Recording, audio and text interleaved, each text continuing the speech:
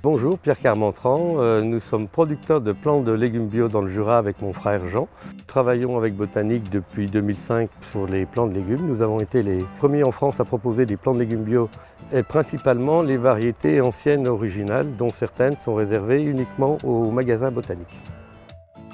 Nous sommes donc producteurs bio depuis 2011. Le panel de tomates sur notre exploitation est d'environ 80 variétés.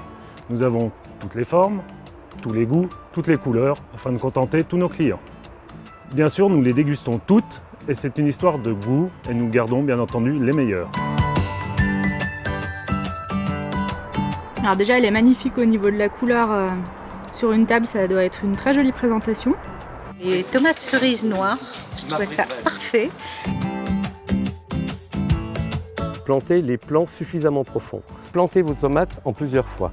Avant plantation, enrichir le sol avec de la matière organique bio et faire attention à l'arrosage, bien entendu arroser au pied, ni trop, ni pas assez.